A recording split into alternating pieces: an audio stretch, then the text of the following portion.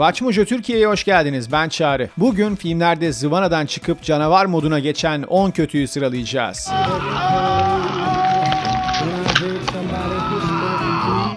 It's when you start to become really afraid of death that you learn to appreciate life.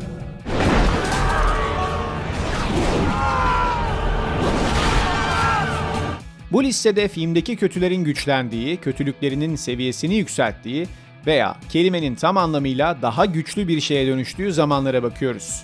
Kendi listelerini hak ettikleri için animasyon filmleri veya animelerden bahsetmeyeceğiz. Filmlerdeki önemli sahneleri irdelediğimiz için bir spoiler uyarısı versek fena olmaz. Bu arada sizce filmlerde anam coştu lan bu dediğiniz kim var? Yorumlarda yazmayı unutmayın. 10 numara Bane yarasayı kırıyor. The Dark Knight Rises. Bane'in cephaneliğinin altındaki Batman ile olan kavgası, canavar modunun daha incelikli biçimlerinden birinin tam olarak gösterimi aslında. Kendinden bahsederken gayet açık, gayet net. Bane, let's not stand on ceremony here. Mr. Wayne. Dövüşleri boyunca Bane etkilenmez, monolog yapar ve Batman'in hilelerinden sıyrılır. Theatricality and deception. Powerful agents to the uninitiated. But we are initiated. Aren't we Bruce? Bane, Batman'in sahip olduğu her şeyi verdiğini söyler. Bundan Batman'in yorulduğunu anlarız. You fight like a younger man. There's nothing held back. Admirable, but mistaken. Yarasa'nın son numarası ışıkları söndürmek ancak Bane'in sakin cevabı hareketin umutsuz olduğunu gösteriyor. Bane önce Batman'in ruhunun veya vücudunun kırılıp kırılmayacağını yüksek sesle merak ediyor ve düşmanı dizinin üzerine düşürerek cevabı veriyor. Ah, Yarasa kırgın. I was wondering what would break first.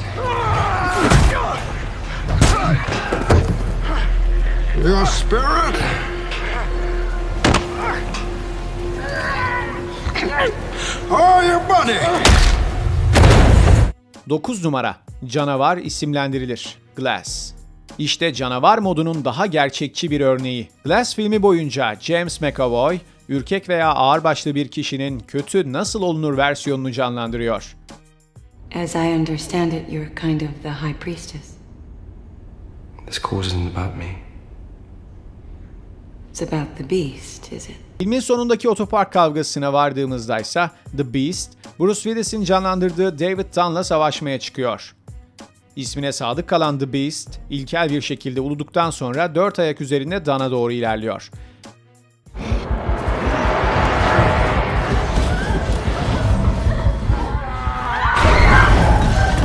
Mesela bir kalkan bu Beast'i durdurabilir mi? Bu sadece The Beast'in sinirini daha da arttıracak.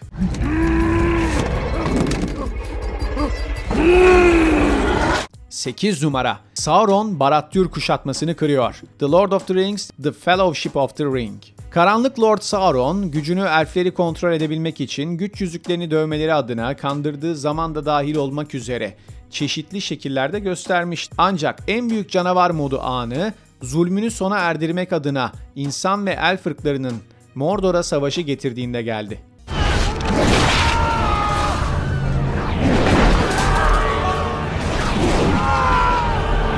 Savaşta Sauron tek yüzüğü takar ve mutlak bir yıkım makinesine dönüşür. Sauron silahını her savurduğunda havada süzülen düşmanları görürüz. Isildur, babası Elendil'in kırık kılıcını alıp çaresizce sallayıp Sauron'un parmağını kesip yüzüğü aldıktan sonra düşmanının modunu kapatıyor.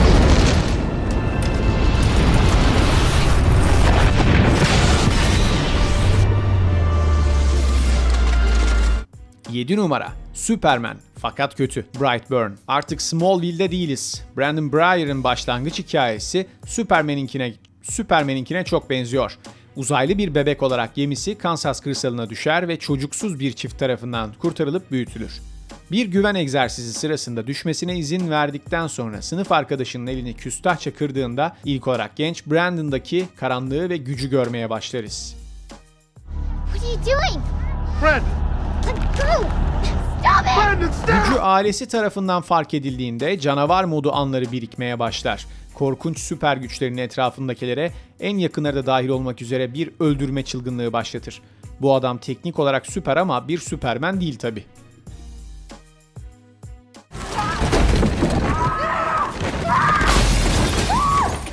6 numara Pennywise'ın gelişi It Chapter 2 Çocukları terörize eden ve onları kanalizasyona çeken bir katil palyaço söz konusu olduğunda canavar modu için yer var mı? Kesinlikle var.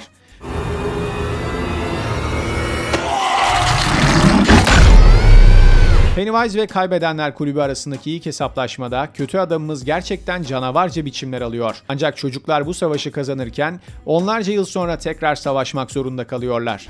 27 years I dreamt of you. I craved you. Oh, I missed you. Bu dövüşte Pennywise gerçekten canavar moduna geçiyor ve hedeflerini yok etmeye yemin eden devasa bir örümceğe dönüşüyor.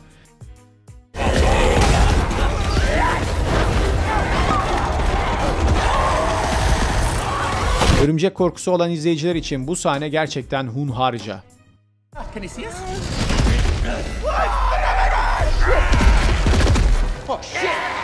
5 numara Darth Vader'ın coşması. Rogue One, A Star Wars Story. Şimdiye kadar ekrana gelen en unutulmaz ve güçlü kötü adamlardan biri olan Vader, zaman zaman Beast moduna mükemmel şekilde girdi. Henceforth, you shall be known as Darth Vader.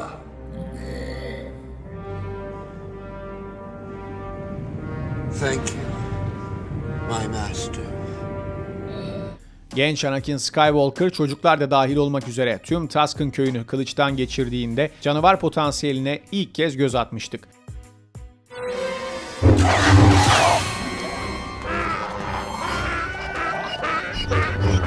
Bir diğeri site katıldıktan hemen sonra tüm genç Jedi'ları öldürdüğünde görülmüştü.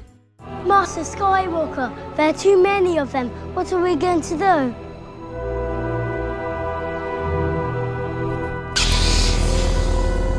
Gerçek canavar modunun harika bir örneği Vader'ın Star Wars Rogue One'daki kısa görünümünde ortaya çıkıyor. Karanlıkta Vader'ın kırmızı ışın kılıcının açıldığını gördüğümüzde hepimiz neyin geldiğini biliyoruz.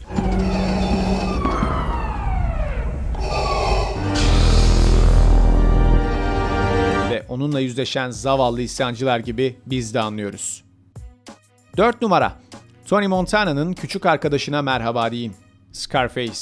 Şimdiki canavar modu tarifimiz şu şekilde. Tony Montana'yı alın, uyuşturucu imparatorluğunu aynı zamanda bir el bombası fırlatıcısı olan bir makineli tüfekle savunun.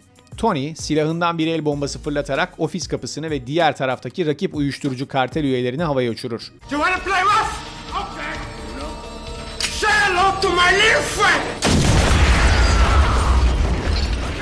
Daha fazla adam gelir ve Tony birden çok kez vurulur. Ancak savaşmaya devam eder. Ardından gelen çatışma çılgınca. Tony defalarca vurulur ve sonunda yere düşer. Korkmadan ayağa kalkar ve hayatta olanlara tehditler savurur.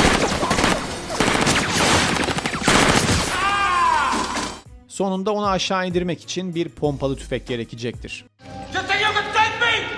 3 numara Voldemort cam yağdırır.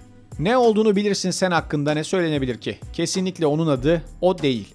Ancak bu kuralı çiğneyeceğiz. Voldemort bize seri boyunca birçok canavar modu anı yaşattı. Muhtemelen bunların en büyüğü Voldemort'un Harry Potter ve Zümrüt Anka yoldaşlığında Dumbledore ile Gizem Dairesi Atrium'unda savaştığı zamandı.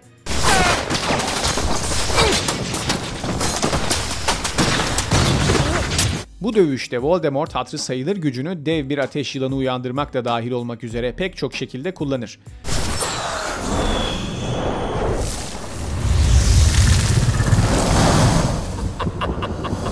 Savaş Voldemort'un kaçmasıyla bir çıkmazla sona erer. Ancak bunu yapmadan önce büyüsünü geniş atriyumdaki her pencereyi kırmak için kullanıyor ve bu da katılan herhangi bir Muggle için ölümcül olabilecek bir sebep.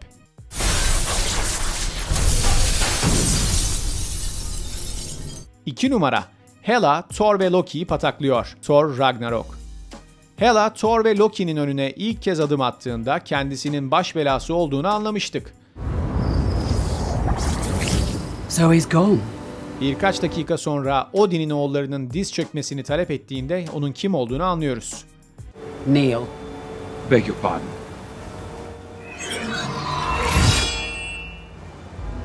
Kneel. Before your queen. Thor bu yeni düşmana Mjolnir'i fırlatarak tepki verir. Hela elini havaya kaldırarak çekici uçuşunun ortasında durdurur ve ezer. It's not possible. Darling, you have no idea what's possible.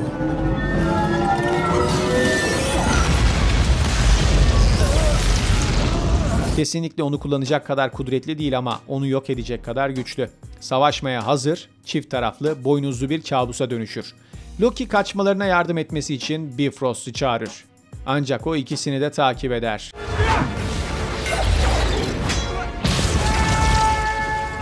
Hela, Beast modun kolay görünmesini sağlayan tipten biri. Bir numara, Ajan Smith'in klon ordusu. The Matrix Reloaded. The Matrix Reloaded'da Neo ile ilk karşılaşmasında Ajan Smith, düşmanına Matrix'te bağlantısının koptuğunu ve eski kuralların artık geçerli olmadığını açıklar. Because of you, I'm no longer an agent of this system. Because of you, I've changed. I'm unplugged. A new man, so to speak. Like you, apparently free. Smith kopyaları yaklaştıkça amaç kavramından bahseder ve hepsi konuyu tek tek anlatır. Orijinal ajan Smith, Neo'yu kendi amacından mahrum etmek niyetinde olduklarını açıklar. We are here because of you, Mr. Anderson. We're here to take from you what you tried to take from us.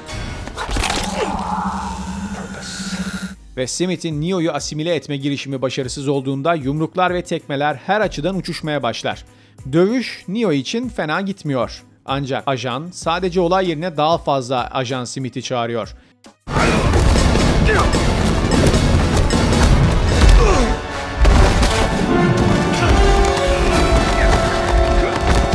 Neo devam eden saldırıdan kaçınmak için sonunda uçup gidiyor. Canavar bir kötü adam için geçici bir zafer. Listemize katılıyor musunuz? Sizi en çok etkileyen mod değişimi hangisiydi? Yorumlarınızı yazmayı unutmayın ve Watch Mojo Türkiye'yi hemen takip edin.